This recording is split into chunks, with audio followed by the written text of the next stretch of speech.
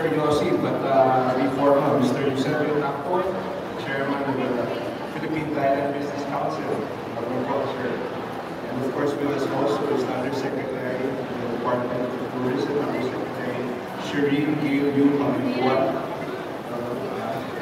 And of course, from the, the Director of the Thai Trade Center, Ms. Chantana Chotipuni. Uh, and our other members of the diplomatic corps, all the ambassadors who are with us today, and of course all the officials from the embassy and all trade partners. Our celebration in Thailand Day, in Thailand here in Manila, is one manifestation of our friendly bilateral ties. As such, we celebrate Thailand alongside the celebration of our lasting friendship between our nations that transcends geographical and lexical boundaries.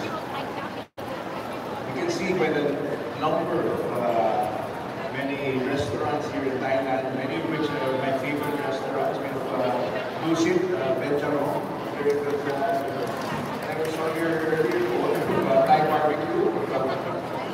Uh, of course, we have, uh, there's so many Thai, uh, Ambassador mentioned all the Thai restaurants, and the favorites of many of uh, Filipinos here. So, culturally, uh, we share many tastes, especially.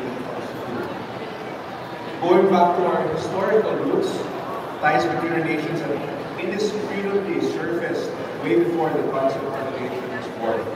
The centuries-long relations founded on cultural exchange and travel have paved the way for the establishment of our foreign relations in 1949 with the Treaty of Friendship signed in Washington, D.C. And from then on, our relations were characterized by flourishing connections beyond the daily culture as we traverse the Asian, global, and political climate together, forwarding our respective and collective interests as small nations vis-a-vis the greater political community. Our fighting actions to establish regional organizations through the Southeast Asian Treaty Organization and the Association of Southeast Asian Nations, ASEAN, manifests our interest in establishing diplomatic relations that encapsulates economic, cultural, and political. For the past 75 years, we have established a friendship that goes beyond institutional and diplomatic ties. A fun fact, you might not know, is that there's actually a Thailand street here in Makati. Not exactly sure where, but here in the center of Makati, there are Thailand Street. And this was named after each other to commemorate the 50, the first 50 years of our relationship in 1999. So there's a Thailand Street here in the Philippines, and similarly, there's a Philippine Street in Thailand. In Thailand, po ang Philippine Street. Of course, here we also have a Thailand. And as a senator of the Philippine Republic, I'm very much elated to relay my support and commitment to the upkeep Philippine-Thailand bilateral relations.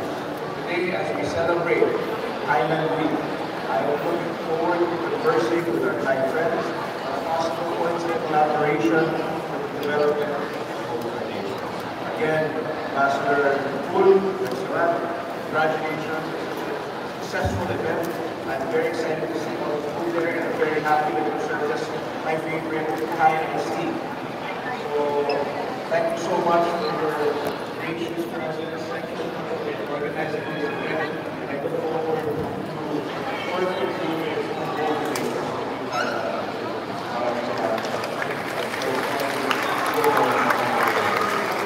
Thank you very much, Honorable Senator Mark A. Villar.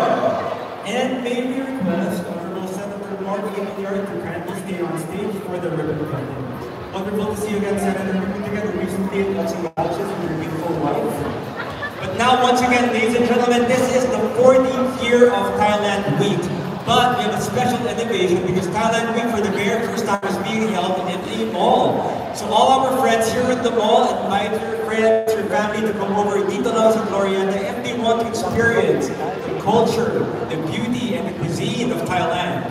And we have stalls right here where they have representatives selling delicious food, beauty products, and many, many more. Once again, this is Thailand 2024, 14 strong years of ties with the Philippines.